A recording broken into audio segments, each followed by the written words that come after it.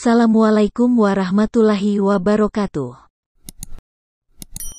Wahai sahabat, pernahkah mendengar tentang kisah sepasang suami istri yang miskin mendadak kaya pada zaman Nabi Musa alaihi salam? Dikisahkan suami istri tersebut hidup serba kekurangan dan miskin selama bertahun-tahun. Mereka tetap sabar dan terus berupaya agar keluar dari kemiskinan. Kemudian pada suatu hari, sang istri mengajak suaminya untuk berbicara dengan Nabi Musa tentang keadaan mereka. Sang istri meminta agar Nabi Musa mau menyampaikan kepada Allah subhanahu wa ta'ala agar mereka dapat hidup berkecukupan dan diberi kekayaan selama menjalani sisa hidupnya. Pasangan suami istri tersebut kemudian mendatangi Nabi Musa di keesokan harinya. Nabi Musa pun lalu bermunajat dengan menghadap Allah subhanahu wa ta'ala dan menyampaikan keinginan mereka. Allah maha mendengar lagi maha melihat dan menjawab permohonan Nabi Musa dengan berfirman, Wahai Musa, sampaikan kepada mereka bahwa aku telah mengabulkan permintaan mereka dan aku akan memberi mereka kekayaan, tetapi selama satu tahun saja. Dan setelah satu tahun, aku akan kembalikan mereka menjadi orang miskin. Mendengar hal itu, Nabi Musa alaihi salam lalu menyampaikan kepada pasangan suami istri tersebut dengan gembira. Benar saja, hanya dalam beberapa hari rezeki datang dari arah mana saja dan tak terduga yang membuat suami istri tersebut menjadi kaya raya. Setelah kehidupan mereka yang sudah berubah drastis tersebut, sang istri mengingatkan suaminya bahwa kekayaan yang didapatkan hanya akan bertahan satu tahun sehingga setelah itu mereka akan kembali jatuh miskin. Mereka memikirkan akan digunakan untuk apa kekayaan sebanyak itu.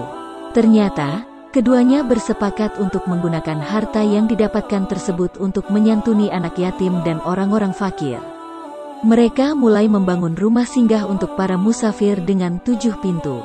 Dari hari ke hari, keduanya terus disibukkan menyambut para musafir dan memberikan mereka tempat tinggal gratis serta makanan sampai lupa akan tenggang waktu kekayaan yang hanya diberikan setahun itu. Menyaksikan hal ini, Nabi Musa alaihi salam pun heran.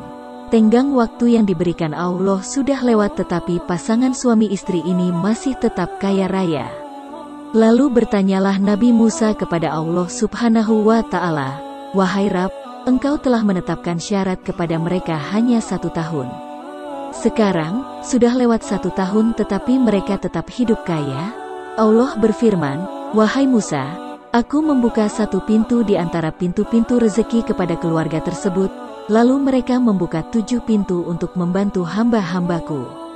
Wahai Musa, aku merasa malu kepada mereka. Wahai Musa, apakah mungkin hambaku lebih dermawan dariku? Masya Allah, dari kisah tersebut kita dapat mengambil pelajaran sangat berharga dari betapa dahsyatnya keajaiban bersedekah. Harta dan kekayaan yang kita terima merupakan titipan dari Allah subhanahu wa ta'ala. Apabila digunakan untuk bersedekah dan membantu lebih banyak orang, maka Allah akan melipat gandakannya dengan berbagai cara. Hal ini juga dijelaskan dalam Al-Quran tepatnya pada Quran Surah Ibrahim ayat 7. Allah berfirman, dan ingatlah, ketika Tuhanmu memaklumkan, sesungguhnya jika kamu bersyukur, niscaya aku akan menambah nikmat kepadamu, tetapi jika kamu mengingkari nikmatku, maka pasti azabku sangat berat.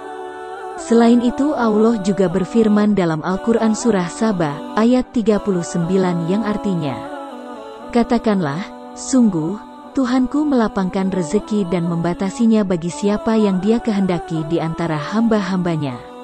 Dan apa saja yang kamu infakkan, Allah akan menggantinya dan dialah pemberi rezeki yang terbaik.